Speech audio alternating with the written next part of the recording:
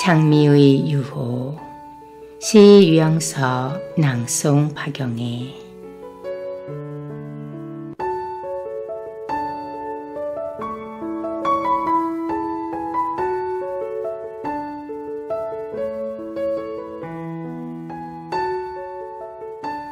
고간 너를 바라보고 있으면 그녀가 떠오른다.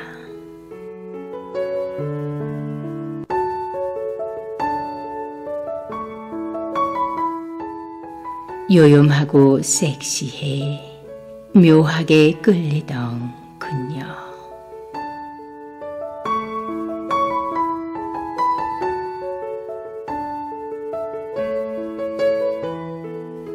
그런데 주책 맞게 왜 이렇게 웃음이 나지?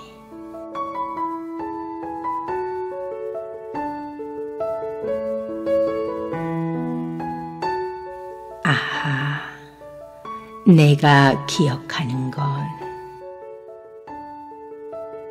방금 내 앞을 스쳐 지나간 장미 향수를 풍기고 간 묘령의 그녀.